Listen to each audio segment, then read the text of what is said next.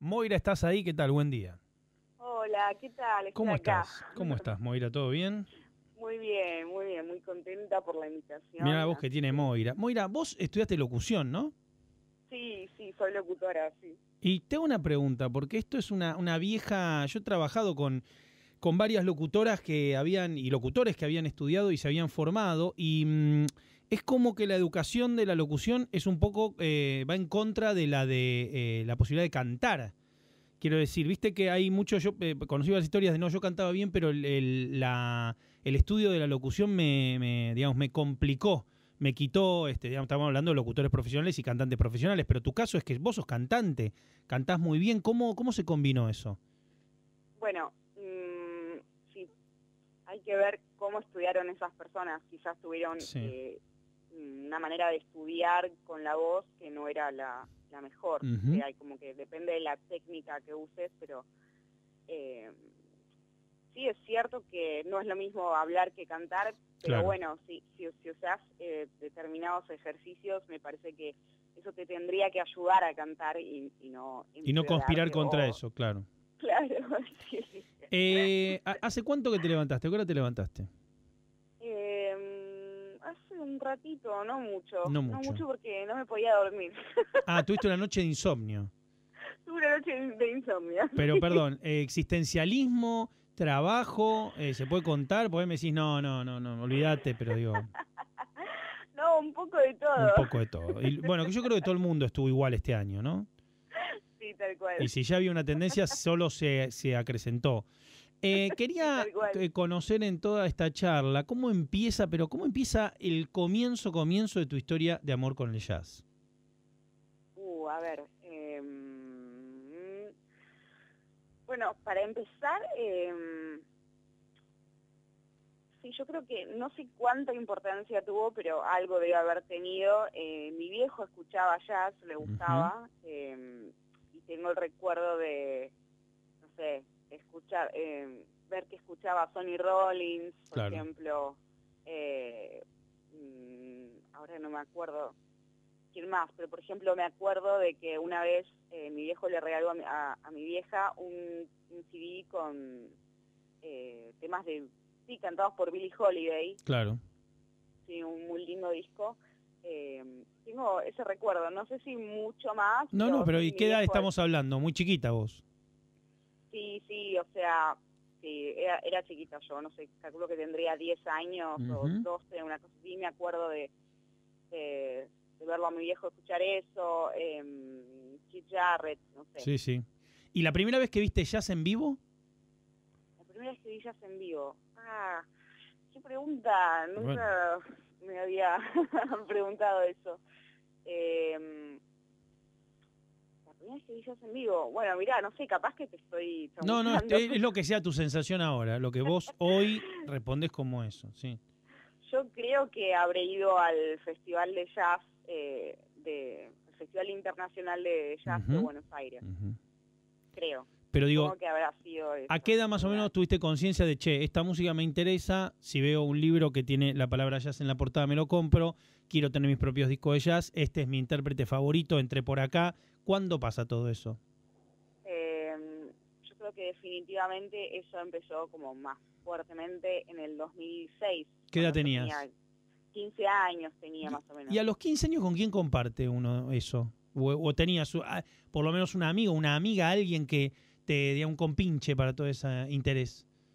Sí, eh, yo iba al Esnaola, no sé si lo, lo conoces de nombre, es eh, Escuela de Música Juan Pedro, eh, Juan Pedro Esnaola. Ah, sí. Y, y, y bueno, ahí estudié piano y, digamos, tenía Claro. eh, ami- amigos, amigas con quienes compartir eso, compartirnos, eh, sí, no sé, discos. eh, El primer disco que te... Yo te, te hago las preguntas que no te acordás, pero más o menos el primer disco, el primer intérprete que seguiste fuerte, Eh, y yo creo que Billie Holiday. me Billie parece. Holiday. Hay una caja de. Billie Holiday que es esa caja que tiene seis CDs, eh, no sé cuánto. Yo la tengo, una caja este, eh, púrpura y negra, ubicás eh, cuál es?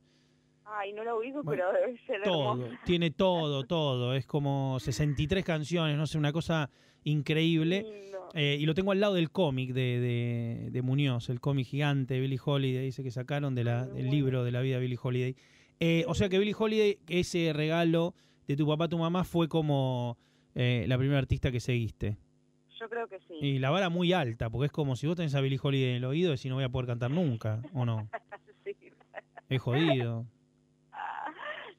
Tal cual. Bueno, y comprando discos y que esto y el otro, ¿y cuándo, cuándo encontrás un grupo de pertenencia en relación al jazz?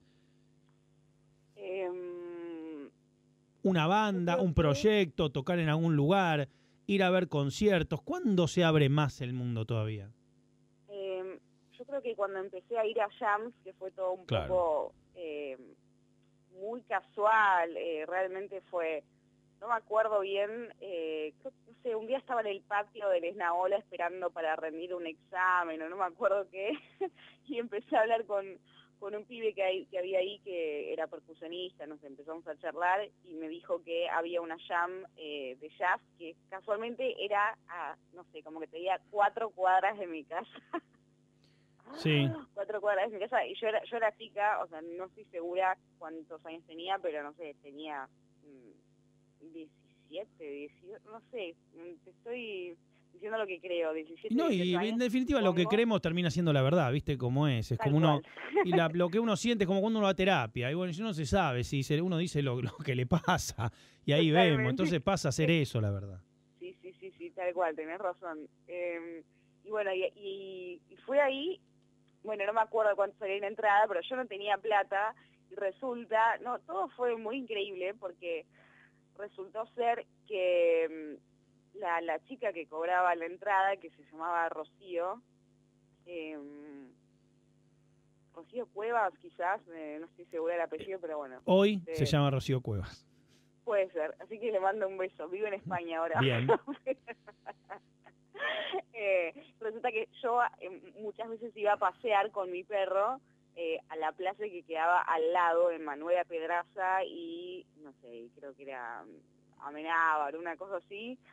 Y, y resulta que, que, claro, llegué ahí y, y me conocía, ah, vos sos la dueña de Coco.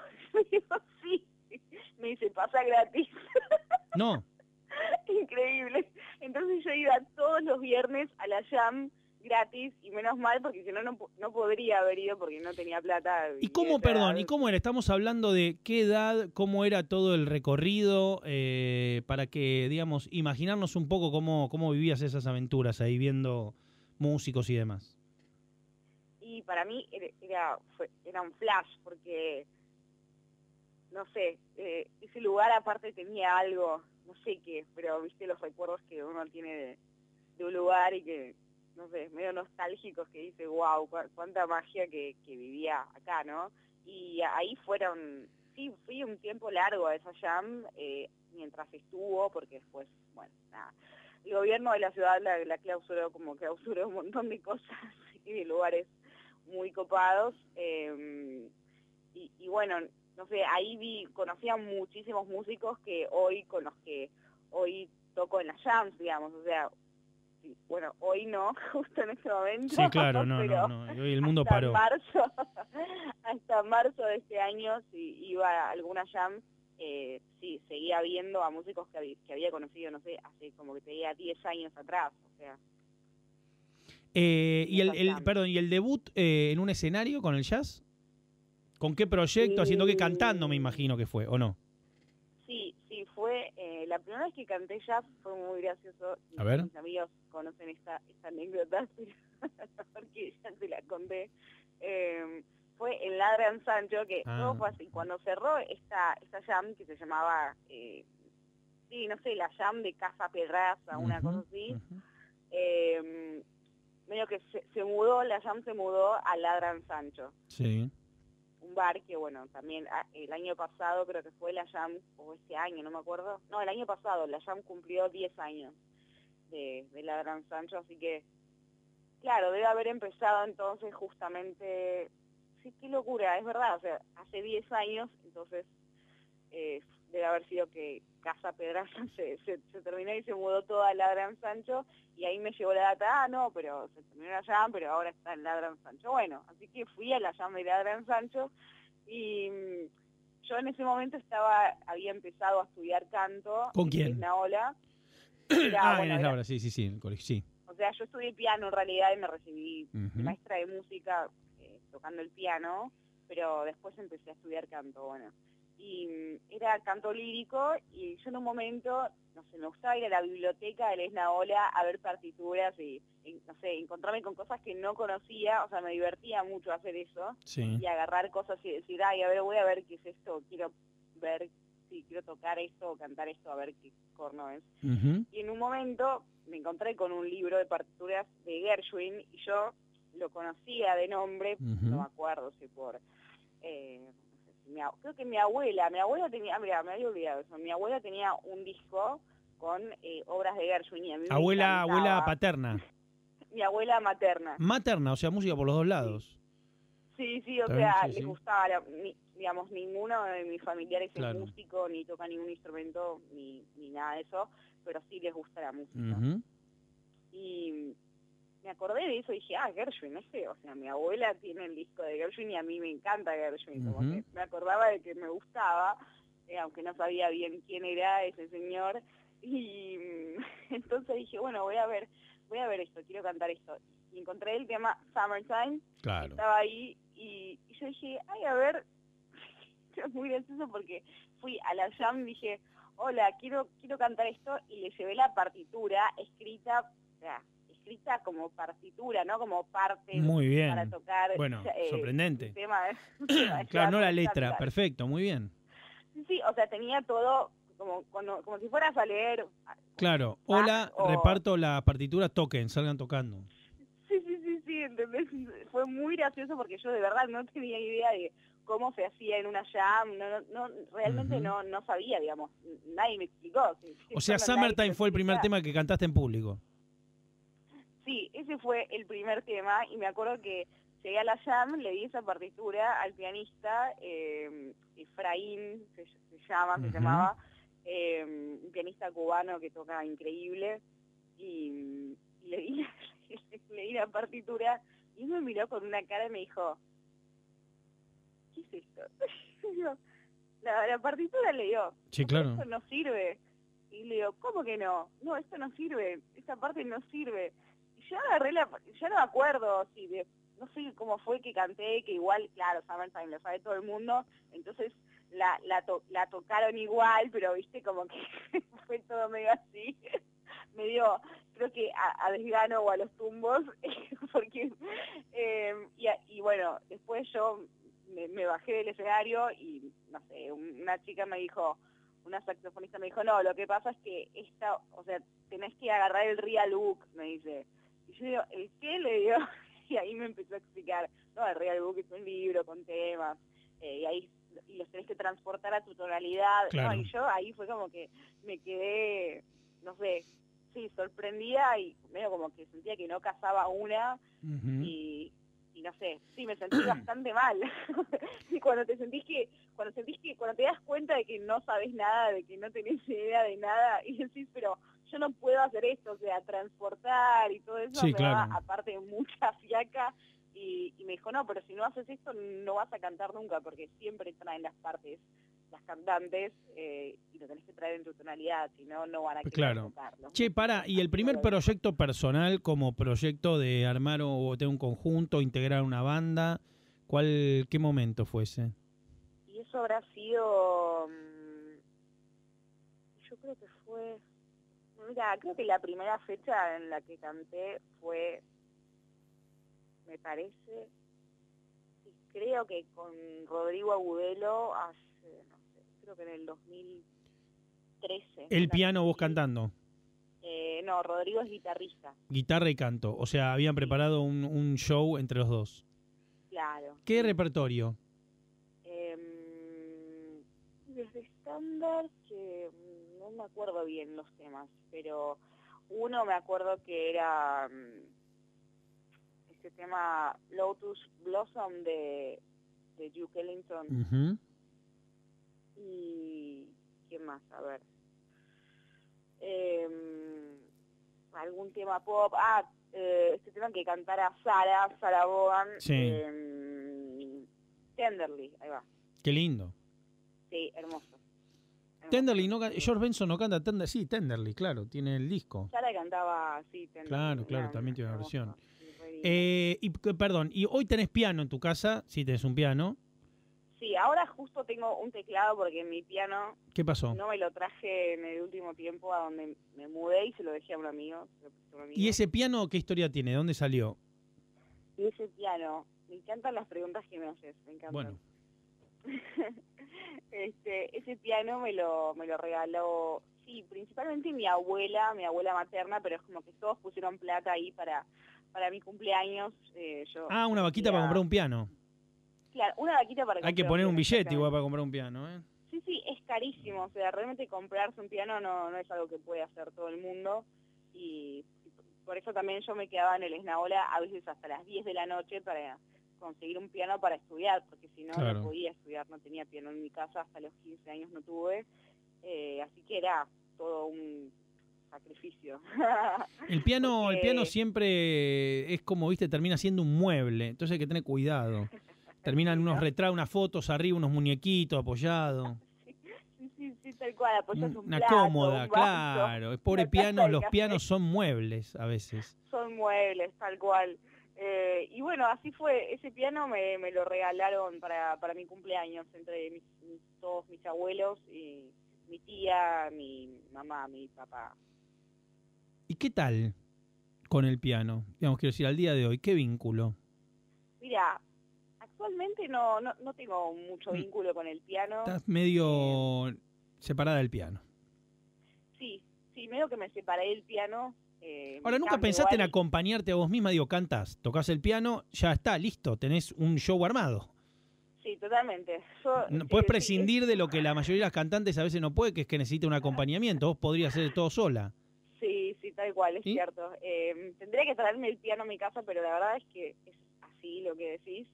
Y mm, no sé, en, en un momento medio que me cansé de tocar lo- la música que tocaba, música clásica, que igual me encanta, pero eh, es como que tuve eh, épocas. Yo cuando entré al Esnaola y tenía, no sé, no me acuerdo, 13, 14 años, eh, yo quería ser Marta Argerich, o sea, No, bueno.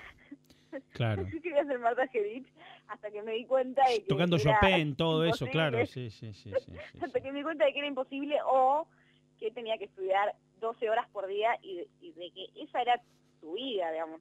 Vos querés tocar a, a ese nivel, tenés que estudiar 12 horas por día. No, no, claro, Marta y- es una superdotada. maneras, Claro, es una eso no te superdotada. garantiza nada, o sea. Exacto, es como Messi entrena como si fuera malísimo y ya es el mejor. Claro. Marta lo mismo, claro. Ensaya como no si es- necesitara, sí. Pero claro, viste, yo tenía 13, 13 años, yo, ah, listo, yo quiero ser como Marta Gerich. Y bueno, ¿quién no?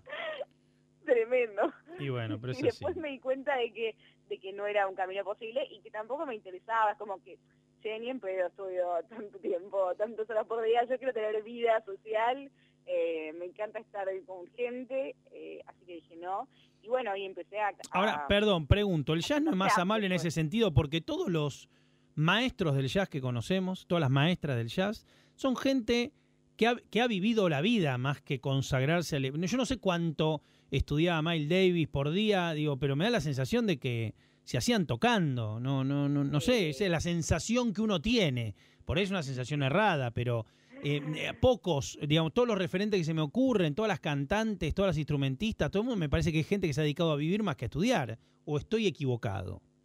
yo creo que, que mm, yo creo que las dos, o sea, lo que pasa es que, claro, no, no llegan al extremo de, no sé... Son todos claro. unos rotos, entonces digo, la mayoría de los genios del jazz. Y bueno, y sí, o no. totalmente.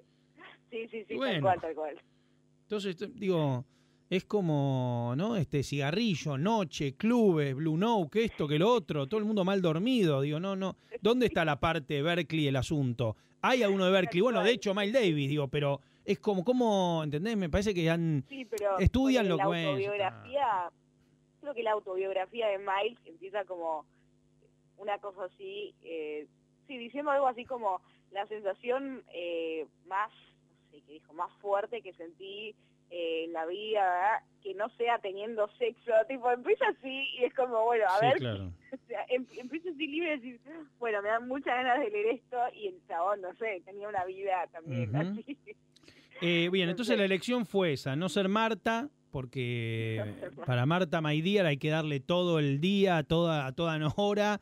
Bueno, de hecho, no sé si viste La calle de los pianistas, la película documental, ¿la viste? No la vi, siempre la quise ver, sí, sí, sí. Bueno, porque es eso exactamente, es eso, es vivir para el instrumento. Es la calle de los pianistas ahí en París, eh, donde está esta chica, a ver si encuentro, ¿cómo se llama? Bender. Eh, ¿Cómo se llama la chica? Ah, Natalia Binder, claro, exactamente, que es un animal, que a los verdad. 10 tocaba en el Colón, pero ahí tenés. Natalia renunció a su vida, la madre ya era un prodigio, ella es un prodigio, la familia son unos prodigios, son los Tenenbaum de los pianos, están todo el día. De hecho, ella está tocando y hablan solo, es espectacular, hablan solo de piano, solo de partituras, solo de vivir para eso, no les importa otra cosa y al lado está Marta Argerich tocando, en la misma calle, en el estudio. Y es una calle que suenan piano todo el tiempo y viven para eso. Y en, la cena hablan de no, eh, el la lo tenés que dejar más corrido y a vos te pasa y para los dedos tenerlos bien tenés que lavarte con agua fría. Tú una cosa, son tenistas, ¿entendés? Pero viven para eso, o sea, y es hermoso, los envidiás porque decís qué lindo vivir solo para eso, pero por otro lado decís, claro, eh, hay que dejar muchas cosas, pero un montón de cosas. Tal cual, Y bueno, sí, tal cual. muy duro. Sí, yo creo que es así. No, no sé si ellos, hay que ver cómo lo, cómo lo viven. Yo los veo felices, ¿eh? Los veo más felices que nosotros, pero bueno, ¿qué va a hacer? Claro, digamos, yo creo que depende de cada uno, eso de renunciar a cosas es cierto, pero, pero hay gente que, que no tiene problema en eso y que es feliz renunciando a Bueno, lo por ahí demás sos porque no le feliz, interesa, así, sos ¿viste? feliz cantando y tocando y no necesitas ser la mejor del mundo para ser feliz. Bueno, Claro, y tal listo, cual. está bien. Eh, es tal totalmente cual. válido, digo, con hacerlo bien, con encontrarte, con poder expresar algo, suficiente, porque si no es un peso terrible. Es como, Sí. vengo a hacer el mejor programa de radio del mundo. Y bueno, no, no, es imposible, no, no, no, no me animo a tomarme el taxi, sí, claro. Nadie, no podemos vivir así, no se puede vivir así. Tal cual. ¿no? Es medio, es medio como. Por otra parte, toda esta gente que admiramos nunca decía que eran los mejores del mundo. Siempre viste que siempre tienen ídolos, siempre está fuera la admiración. Sí, de hecho yo creo que hay muchos eh, de ellos que se sienten pésimos y vos decís, Claro. ¿cómo puede ser que ese tipo, no sé, se confundía y después estaba todo el día puteando y sentía que tocaba decís, pero chabón, no sé. Ya está, ya estaba, claro, claro. Me acuerdo de. Sí, eh, ¿quién era? Bueno, eh, Beethoven era fanático de Mozart, ponele. Siempre hay alguien, siempre admiran a otro. Es como. eh, también Spielberg diciendo que en realidad David Lean y Hitchcock eran grosos, y Hitchcock diciendo que en realidad el grosso era Buñuel, y Buñuel diciendo siempre está. Siempre depositan afuera el norte, porque nadie puede decir soy el mejor, ya lo sé. Salvo Maradona, no sé que nadie más. Salvo Maradona. Salvo Maradona que lo dice todo el tiempo, pero después no sé, no, ni siquiera. Maradona, viste, también habla de Stefano, habla de un par de Bochini, no sé, pero siempre, siempre está afuera eso. Para, ¿y hoy qué estás ensayando? ¿Qué estás haciendo? Mira, hoy lo que estoy haciendo eh, es grabar unos temas míos, que es algo que nunca Ah. hubiera hubiera hecho, la verdad, porque ¿Tema jazz o temas, qué tipo de temas? Eh, te diría que es, no, son como temas medio pop, pero tienen... Cat tienen una Power. cosa- tiene una cosa de jazz, de hecho hay un Sí. tema que es bastante, o sea, tiene una armonía que no es fácil, eh, tiene muchos acordes, Sí. la melodía tampoco es fácil, eh, y tiene bastante de, así como de... de Canciones, canciones al piano. Sí, son canciones, eh, son canciones cantadas, todo tiene letra. ¿De qué hablan esas canciones? Si se puede Bueno, decir, una ¿no? canción habla de unos anteojos, Ah, muy bueno. ese es el tema del que habla. Solo que te enterás al final de la canción, igual ahora ya la- lo arruiné, porque cuando cuando la escuchen, si la, si la- Ah, la este es el tema de los anteojos. Van a decir, ah, no, claro, me arruinaste, me lo spoileaste, pero... Bueno, está bien. Sí. habla de los anteojos y, y la otra habla de... Sí, de, de un desamor. Un desamor, no preguntemos Un más porque tampoco esto es lo de real, pero digo, claro, como una historia real. Sí, eh, Bien. má- más que nada habla de... Yo soy muy... eh, muy hipocondríaca, ahora estoy mejor, pero tuve momentos terribles de terminar en una guardia pensando que me moría porque, no sé. ¿Cómo, ¿cómo se cura la hipocondría? Uy, no sé, chicos, si, si lo supiera. No sé por qué no puedo decir que estoy curada, pero estoy mucho mejor. No, bueno, pero todo este eh, contexto, todo este contexto pandemia debe haber, es como, es como la pesadilla un kafkiana de un hipocondríaco todo esto, ¿no? sabes que sí. Como está un laberinto de espejos. Sí, tal cual. Igual, Igual al hipocondríaco, para creo, al ¿eh? hipocondríaco el COVID le parece poco, me parece.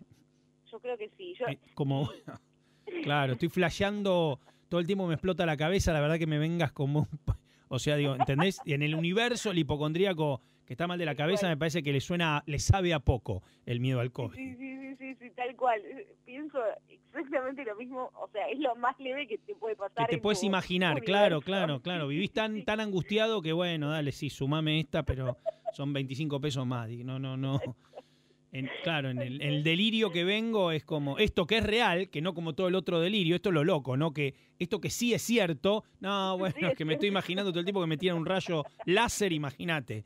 Eh, está bien. Mal, mal, mal, pero, pero yo creí que iba a ser peor. Igual tuve un par de momentos en los que dije, no, esto y no sabía. Y bueno, algún día llegué a llamar, o sea, llamé al SAB y me dijeron, no, llama a tu obra social, después llamé a la obra social. Y en un momento, claro, te aburrís. Escucha, para, ¿y tenés amigos y amigas médicos? Que es también el hipocondríaco se arma un grupo de amigos médicos. No, no tengo amigos mm. Menos mal, porque cuando sos hipocondríaco tenés el amigo médico que sufre, no sé cómo la sufre el amigo médico. te quiere matar, pero bueno, pero es amigo. No, y bueno, vas, tenés que ir a la, psicóloga, tenés que hacer terapia y en algún momento vas a estar un poco mejor.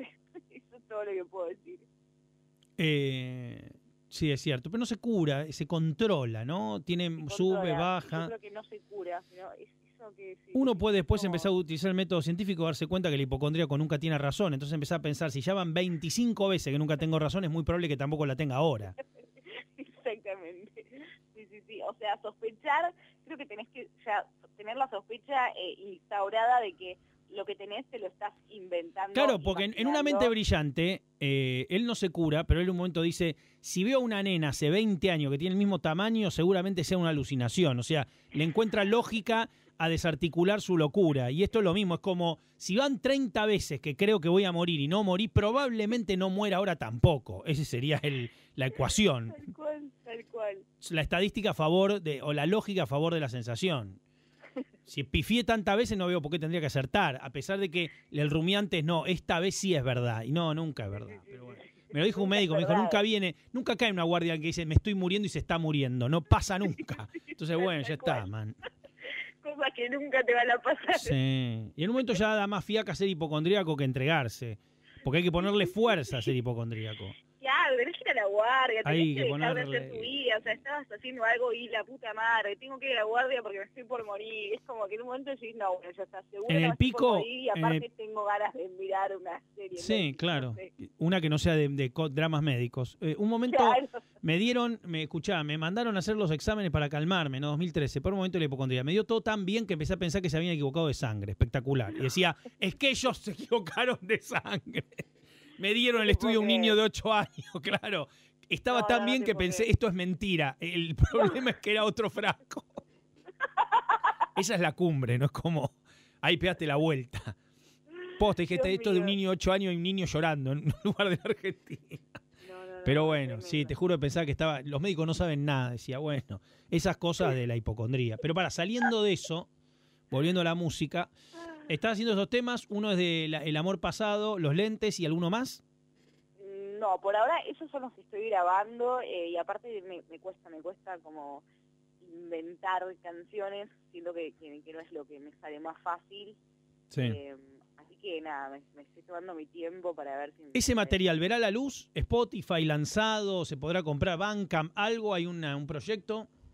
Sí, sí, sí. O sea, todavía no está listo. Hay un tema que falta grabarlo todo, digamos, todos los instrumentos, y el otro ya está grabado todo, casi todo.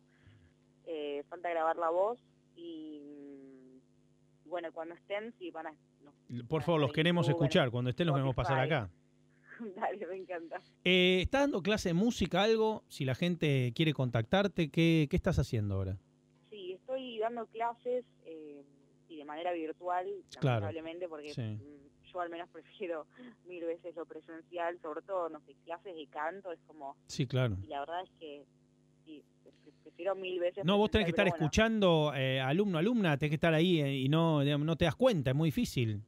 Y, o sea, hay cosas que se pueden hacer y, y cosas que no. eh, Ejercicio sí, claro, ejercicio sí puedes hacer, sí. Sí, sí se puede, pero, pero claro, no es lo mismo, ¿viste? Cuando ves eh, como bien de cerca lo que hace la otra persona, no sé, se le mueven las costillas, y bla, bla, bla. Es como, ok. Y, pero sí, doy clases de, de canto y también doy clases de piano. Bien. Eh, antes de decir dónde te puede contactar la gente, tu cantante favorita argentina, tu ídola. ¿Cantante favorita argentina? Uy. Debes tener varias, Eh, pero vamos a, no sé, lo que decís, una, una maestra tal, me mata como canta tal.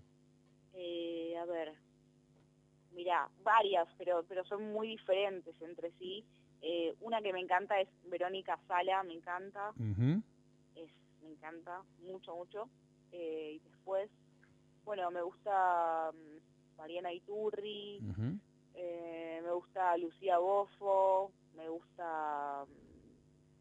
Me gusta Julia Moscardini. Es increíble, esto es una, hay como una tradición de cantantes de jazz en Argentina y no tanto de cantantes varones de jazz. Sí, ¿Viste? tal cual, ¿No? sí, Sorprendente.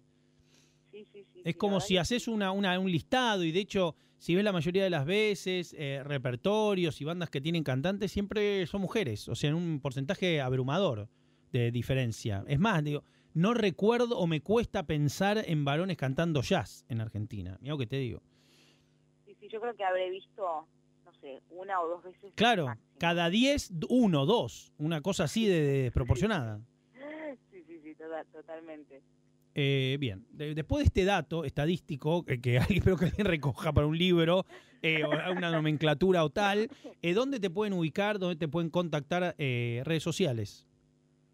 Bueno, en Instagram estoy como Moira Morgulis eh, y Moira Morgulis. arroba Moira SMS, porque mi segundo nombre es Sofía, así que Moira SM.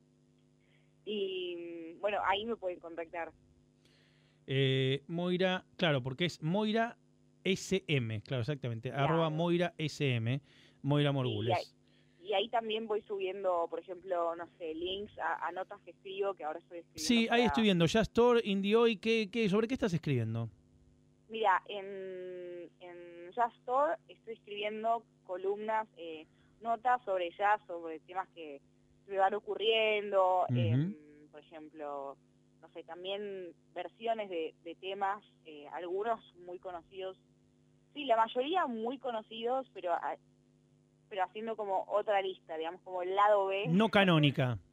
Claro, porque, a ver, todo el mundo sabe que, no sé, Round Midnight, no sé, tiene... Sí, claro. tiene- sí, la grabó todo el mundo, o sea, a ver, los, los- mejores músicos de jazz la grabaron, pero pero bueno, no sé, ahí en ese caso hice como una lista de un lado B de, de versiones que, que nada que ver, ¿viste? Que te Ujú. sorprendes y dices, wow, qué flash, está buenísimo. Perdón, está tu libro también, Una voz imperfecta. No quiero dejar ahora que veo el- el- la cuenta, está ahí. Se puede conseguir, te lo- se puede comprar también. Sí, sí, eso también, sí. Perfecto. Eh, eh, Nada que ver, igual, eso es un libro de poemas, pero sí. Bueno, pero por ahí alguien lo quiere comprar. Sí, yo- lo quiere leer o lo quiere firmado. Excelente, estupendo. Eh, le decimos a la gente entonces que se acerque para estudiar música, para estar atento a todo lo que hagas y, bueno, cuando salgan las canciones eh, sonarán aquí. Bueno, muchas gracias. Por favor, un beso grande, Moira. Un beso grande, gracias, la pasé muy bien. Por favor. Me encantaron todas las preguntas. Por favor.